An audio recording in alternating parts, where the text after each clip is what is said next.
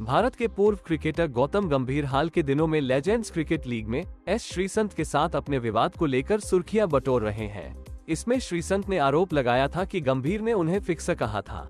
अब पूर्व भारतीय क्रिकेटर ने मैच के बाद इस मसले और आईपीएल 2023 के दौरान विराट कोहली के साथ हुए विवाद पर खुलकर बात की है। गौतम गंभीर से एक पॉडकास्ट में नवीन उलहक और विराट के बीच हुई कंट्रोवर्सी पर सवाल किया गया तो उन्होंने कहा कि मैं अगर मेंटोर हूँ तो किसी के पास हक नहीं है कि मेरे खिलाड़ी की तरफ़ चार्ज करे, और इसको लेकर मेरी बिल्कुल अलग सोच है। जब तक मैच चला मैंने कुछ भी नहीं कहा, और मेरा कोई हक भी नहीं था कि ऐसा करो।